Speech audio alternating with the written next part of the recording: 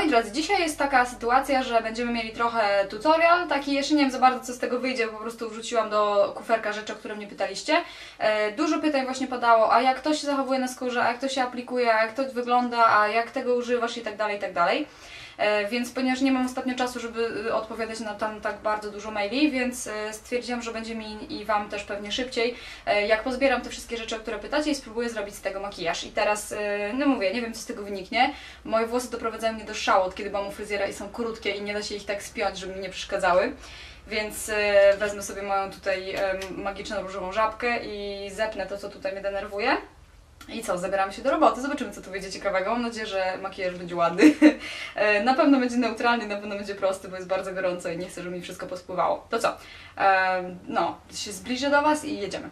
Będę dzisiaj nakładać makijaż Beauty Blenderem, bo też dużo osób mi pyta, jak tam on mi się sprawdza, czy go kupię, jak ten się zniszczy i tak dalej. E, Pokażę Wam, jak on tutaj u mnie wygląda, ale najpierw nałożę bazę. To jest ta baza, o której Wam opowiadałam już parę, parę razy wcześniej, e, Color Caramel.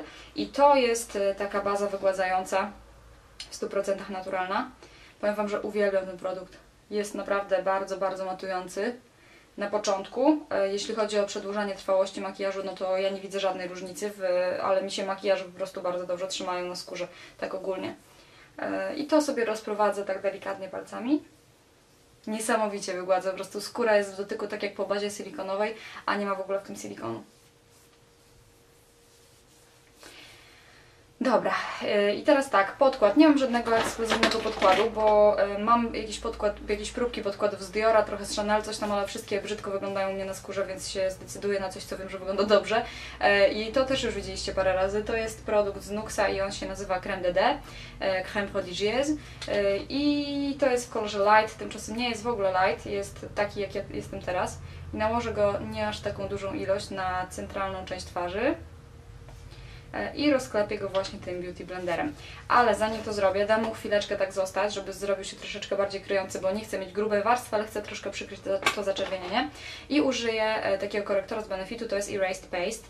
I to jest chyba numerek jeden. Wiem, że są trzy, ale na moim na dole nic nie ma, nie ma żadnej naklejki, nie wiem co tu się z, co z nią stało. W każdym razie ten produkt, taką ilość nałożę sobie palcem pod jedno i pod drugie oko. To i tak już wzięłam, podejrzewam, za dużo. On jest bardzo wydajny. Mogłabym sobie wziąć lusterko, pewnie by się przydało. Yy, I jego nałożę sobie tutaj w wewnętrznym kąciku głównie. I tak go rozklepię palcem. Yy, I na razie ten korektor tutaj, nie będę jakoś go wspaniale roz, yy, rozblendowywać do nie wiadomo jakiej jakości, po prostu zostawię go na razie, żeby on też tak jakby osiadł mi na twarzy. Teraz tą płaską częścią Beauty Blendera będę tutaj rozprowadzać ten podkład. Muszę sobie kupić y, jakiś podkład do twarzy z Bare Minerals, bo bardzo dużo osób pyta o te kosmetyki, są dostępne w Sephorze. Y, jakie ja mam tam zdanie, jakich używam, czy są fajne, czy nie są fajne. Ja nigdy nie miałam, szczerze mówiąc, produktów tej marki, oprócz chyba jakiejś odsypki różu, więc y, muszę, muszę kupić i dopiero Wam coś będę mogła powiedzieć. Miałam próbkę tego żelowego podkładu w płynie, on się chyba nazywa Bearskin albo coś takiego, on był genialny. Myślę, że go kupię, e, takiego, taką formę w płynie, ale podejrzewam, że się skuszę na prasowany puder, tak żeby go, prasowany podkład mineralny, żeby go mieć ze sobą w torebce. Dobra, to mam e, rozpracowane tutaj i teraz jeszcze raz palcem rozklepię sobie to, co mam e, pod okiem. On ma taki różowy trochę kolor, ten produkt z Benefitu, także ładnie sobie radzi z cieniami pod oczami. E, I teraz sięgnę po produkt, który jest u nas niedostępny, ja go dostałam, Paulina mi go przywiozła z Włoch i to jest Instant Anti-Age albo Instant Age Rewind, on ma różne nazwy, to jest korektor z Maybelline i on miał taką gąbkę, którą ja urwałam, bo y, trochę taka była ohydna.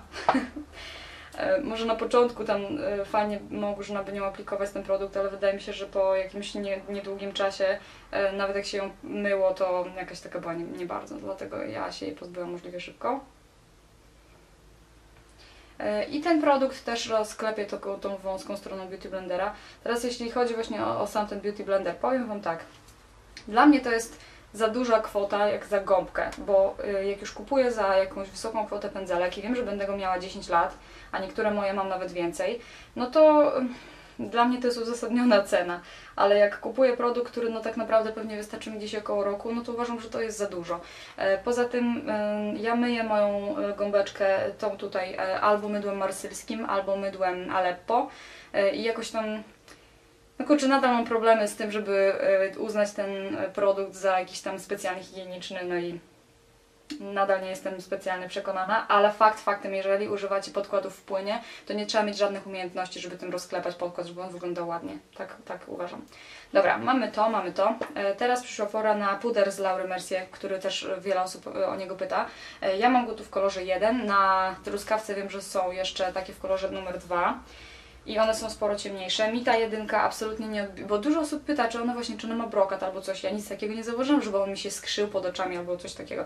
I nakładam go pędzelkiem z Inglota 4SS i nałożę go sobie tylko pod oczy. Nie będę nakładać takiej wielkiej warstwy grubej i tego tam gotować, czy, czy piec, czy jak to tam ludzie mówią teraz na to, ale nie wiem, moim zdaniem to strasznie postarza. Owszem, może się nie zbiera w załamaniu ten e, korektor, ale jak macie trochę zmarszczek chociaż i nałożycie za dużo e, podkładu, za dużo, może inaczej, za dużo korektora i za dużo pudru na to, to potem to podkreśla wszystkie zmarszczki. Ja nie jestem wielką fanką takiego rezultatu. Więc tylko taką niewielką ilość, żeby zmatowić ten e, korektor, który jest pod okiem i żeby on się dłużej trzymał. E, Teraz nałożę sobie bronzer. Nie, nie mam żadnego takiego jakiegoś ekskluzywnego bronzera, bo nic nie kupiłam ostatnio. E, Cały czas ujeżdżam mój bronzer z Kiko, który jak widzicie już tu wygląda, że wygl jest kochany, jest kochany. E, Mam pędzelek Maestro w rozmiarze 24, nie, numer 24, rozmiar 180, zawsze mi się to myli. I nim sobie nałożę właśnie ten bronzer tutaj na zewnętrzną część twarzy. Codziennie używam tego bronzera, naprawdę bardzo go lubię. Mam jeszcze dwa zapasowe w szafce. Pierwszy raz mi się zdarzyło w życiu z kosmetykiem, żeby kupić kilka różnych, bo e, znaczy kilka takich samych e, w, zapasie, jakby w razie się skończył, bo tak go polubiłam. E, Gdyby go nie było i miałabym kupić teraz jakiś bronzer, to pierwszym bronzerem na mojej liście byłby bronzer z Body Shopu. Ten Honey Bronze, coś takiego. Wcześniej używałam go i też był naprawdę, naprawdę wspaniały. A ten właśnie już powiększył swoją dziurkę. E, Teraz sięgnę po pędzelek z Annabelle Minerals, mój niezawodny skośny do brwi i taką pomadę do brwi z Inglota w numerze 12. E, Ja już chyba Wam wspominałam co nieco o tym produkcie. A jeżeli nie, to będę na pewno wspominać w przyszłości. On nie jest jakiś super ekskluzywny, kosztuje tam chyba 4 dyszki, ale jest znakomity. E, To mi zastyga naprawdę na maksa, na wodoodporny taki rezultat e, na brwiach i mogę przecierać w ogóle em, palcem, e, podrapać się gdzieś tam w ciągu dnia, nic się nie kruszy, nic się nie zmywa. Trzyma się dłużej niż podkład, naprawdę cały dzień super, super produkt. I fajnie, że takie małe opakowanie, bo przynajmniej mi nie zaschnie. To co, podkreślę trochę brwi za sekundę się zobaczymy znowu. E, Dalej, przechodzimy do oczu. Mam tutaj taki produkt z Maca, to jest e, farbka, e, która się po prostu nazywa Mac Paint i to jest Sublime Nature. Bardzo fajny kolor, taki troszeczkę ciemniejszy od mojego naturalnego koloru powieki. I pani mi w Macu, bo swoją drogą w Blue City obsługiwała mnie dziewczyna właśnie jak teraz byłam w Warszawie i była przemiła, po prostu przemiła, tak jak nie cierpiałam obsługi w, co to było, w Złotych Tarasach, ani w Arkadii, jak były, byłyśmy z Weroniką i z Pauliną parę razy ostatnio i zawsze panie były dla mnie naprawdę, nawet nie tyle, że nie były, nawet nie tyle, że nie były uprzejme, były po prostu niemiłe. E, To tak, teraz ta dziewczyna, która nas obsługiwała właśnie w Blue City, to naprawdę super. Nie wiem, czy sobie życzę, żeby Twoje imię wymieniać, także pozdrawiam Cię tylko serdecznie, jeśli mnie oglądasz. E, Była super miła e, i naprawdę bardzo fajnie nam doradziła i kurczę, tak, taki standard obsługi powinien być wszędzie. Jak widzicie, ten kolor nie jest jakoś taki specjalnie odbiegający od koloru mojej skóry. Jeżeli jesteście troszeczkę jaśniejsze niż ja, to on, wy, on wychodzi na taki, taki średni brąz, bym powiedziała. E, I pani właśnie w maku mi powiedziała, że on jest taki super, super trwały że jeżeli się paint, poty nie trzymają albo żadne inne rzeczy się nie trzymają, no to że te farbki się trzymają. Mi on zastyga na taki mat, ale nie płaski, bym powiedziała. E, I rzeczywiście na tym, jak, jak nałożę na to cienie, to one mi się trzymają do zmycia i nic mi się nie zbiera w załamaniu, także jeżeli macie z tym problem, to ja myślę, że mogę spokojnie ten produkt polecić. To na razie nie jest pełna recenzja, bo go używam za krótko, używam go dopiero tam półtora tygodnia, więc, więc bez szału. Jeśli chodzi o, o długość i o taką, wiecie, rzetelną opinię.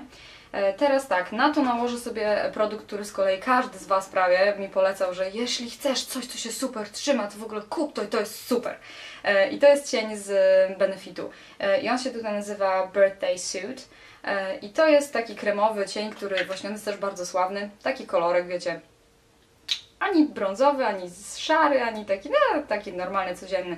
Dosyć jest podobny do tego Color Tattoo e, On and On Bronze, tylko ten jest troszkę chłodniejszy.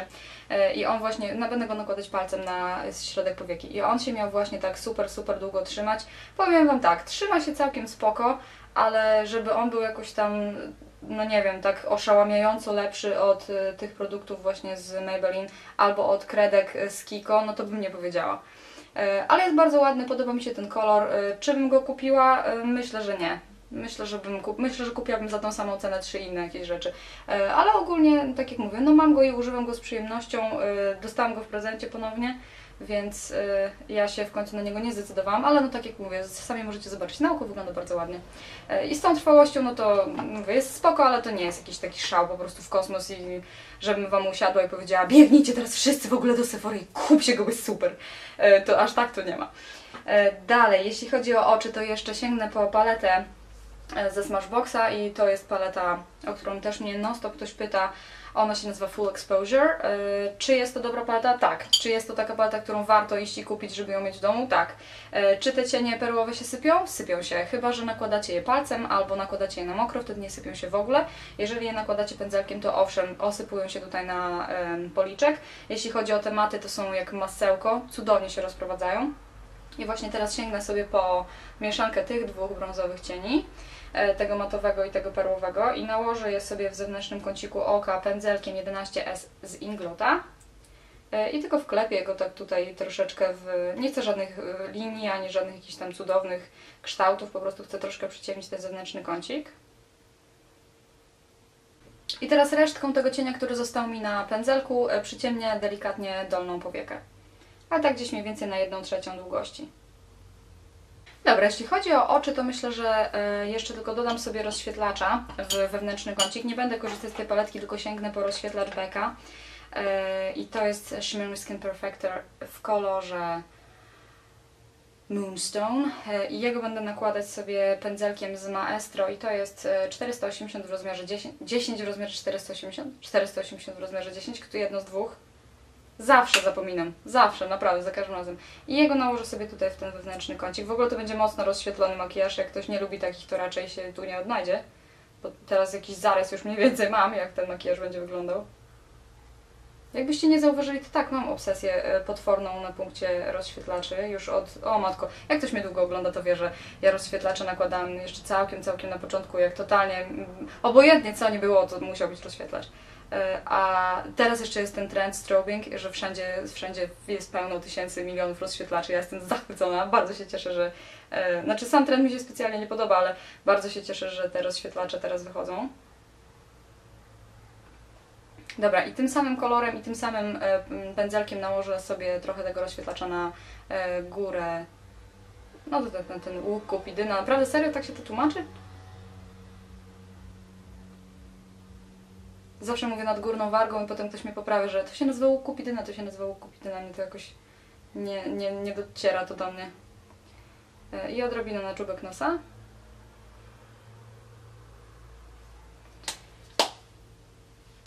Gdybym miała wybrać między tym rozświetlaczem prasowanym, a tym rozświetlaczem, który mam tutaj i on jest w formie płynnej, 100% e, w formie płynnej, doskonały, doskonały kosmetyk, zresztą zaraz go będę nakładać. Jeśli natomiast chodzi o ten w formie prasowanej, to jeżeli macie tłustą skórę, to wtedy lepiej, bo myślę, że ten jednak będzie, może Wam trochę spływać. E, a tego cudaka tutaj pięknego, aha, mogłabym oczy skończyć, bo tak jakoś łyso wyglądam, nie? E, najpierw podkręcę sobie rzęsy moją zalotką z Inglota, bo też nie mam innej. Się zastanawiam, czy kupić zalotkę Shuuemura, czy nie, czy jakąś jeszcze inną. Macie jakieś może ten, e, jakie, jakieś myśli na ten temat? E, ktoś by chciał się ze mną podzielić, po, poradzić, czy mam kupić, czy mam nie kupić, czy warto, czy nie warto, czy ktoś używał. Tą zalotkę już mam chyba z dobre 6 lat i cały czas mi świetnie służy.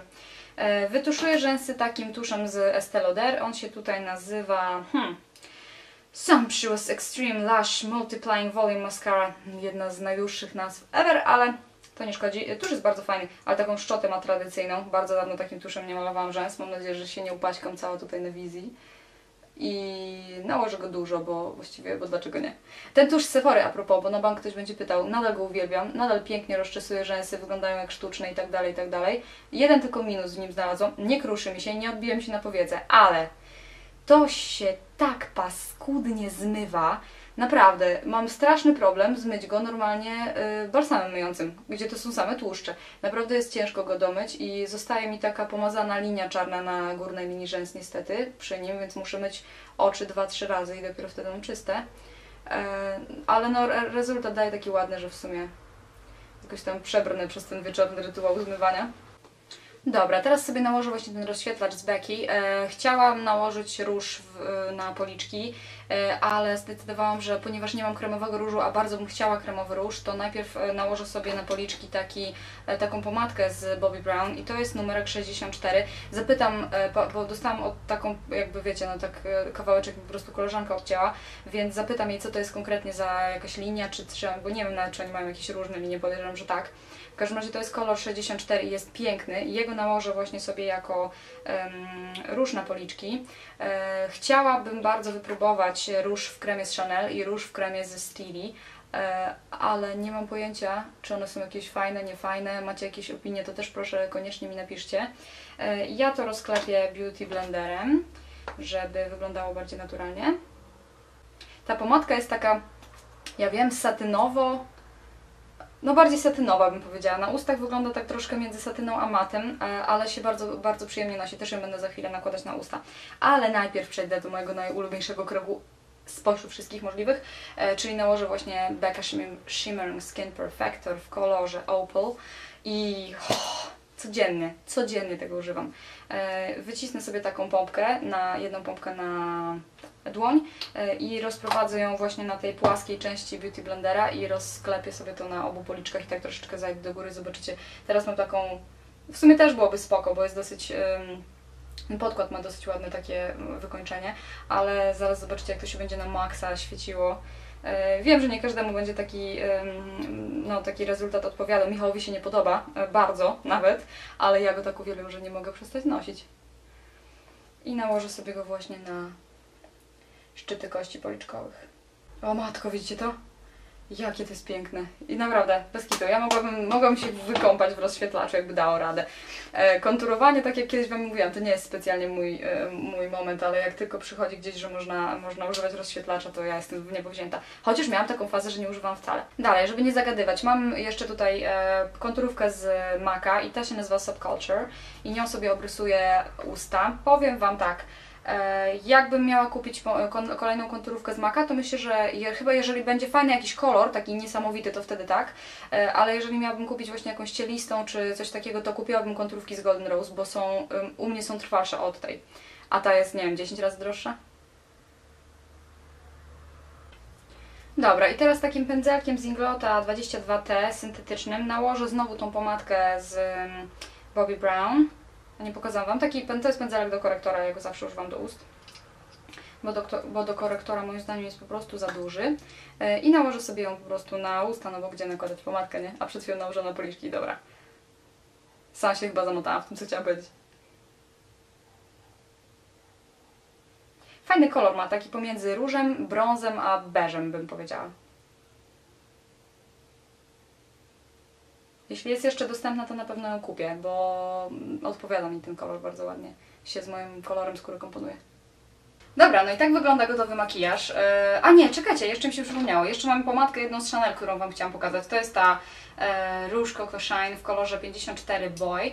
E, ją nałożę zamiast błyszczyka na dolną wargę. Ona tak fajnie powiększa usta. Bardzo ładny kolor ma. E, I z tą pomadką to miałam taką akcję, że się zastanawiałam najpierw, że może będę ją tylko na specjalne okazje używać, bo to taka moja wyśniona była, wiecie. Obiecałam sobie, że jak kupię sobie pierwszą pomadkę z Chanel, to właśnie będzie ta, no i w tym roku ją kupiłam. Przyszło co do czego, to mam ją cały czas w torebce, noszę ją codziennie, jak idę czasami na spacer z psami, mam krótkie spodenki i t-shirt i w ogóle nie mam żadnego makijażu, tylko wielkie okulary przeciwsłoneczne i używam tej pomadki, bo jest tak komfortowo na ustach. E, No i to by wyglądało w ten sposób. Doszliśmy do końca tego makijażu. Mam nadzieję, że Wam się podobał. Tym razem to coś takiego bardziej beżowego, brązowego, neutralnego, bo wiem, że część osób była zmęczona tym, że ostatnio były takie mocno kolorowe, ale ja lubię kolorowe. E, Mam nadzieję, że film Wam się podobał. E, Jeżeli tak, to zostawcie mi koniecznie kciuka w górę. Jeżeli też doprowadzałem Was do szału krótkie włosy i macie jakieś sposoby na to, żeby pozbyć się tych kawałków przy twarzy, które wchodzą non stop do ust, to proszę napiszcie mi w komentarzu, bo Ja ostatnio troszeczkę tracę cierpliwość, non stop noszę jest pięta na czubku głowy. Dobra, e, już najlepiej zamilknę, bo podejrzewam, że i tak ten film był długi. E, Mam nadzieję, że te osoby, które tam szukały odpowiedzi na pytania, e, czy warto kupić ten produkt, jak on wygląda na skórze, jak to się nakłada i tak dalej, i tak dalej, i tak dalej, znalazły dzisiaj odpowiedzi. E, ja prawdopodobnie Wam wszystkim po prostu wyślę link do tego filmu, bo e, myślę, że tak będzie nam wszystkim łatwiej. E, I cóż, życzę Wam wszystkim cudownego tygodnia. Miejcie, wiecie, fajne wakacje i odpoczywajcie sobie spokojnie i do zobaczenia następnym razem. Na razie! Música